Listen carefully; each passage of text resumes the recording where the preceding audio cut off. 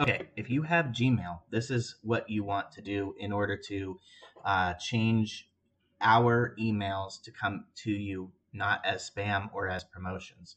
So um, basically, it's probably going to show up in promotions, which you're going to go down to more in most cases, unless you've changed some of your settings. Go to promotions, and you find the uh, the email from us. I'll show you another way to do this in a second.